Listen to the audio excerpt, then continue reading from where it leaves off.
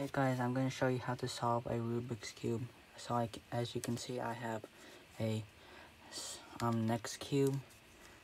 Um, if you have a other cubes like like a GAN cube and a, a regular Rubik's cube or a regular Rubik's cube, um, and th this video is for you.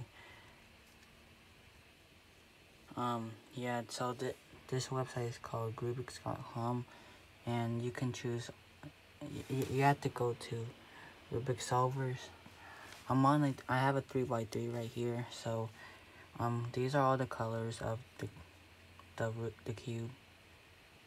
And uh yes um you have to put all the colors on if, if you you can put, face it on any angle you want um, and once you're done with all six faces, then you can um, click solve and then and it shows you how to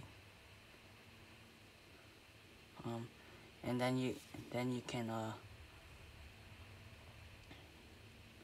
then you can uh, what was I gonna say?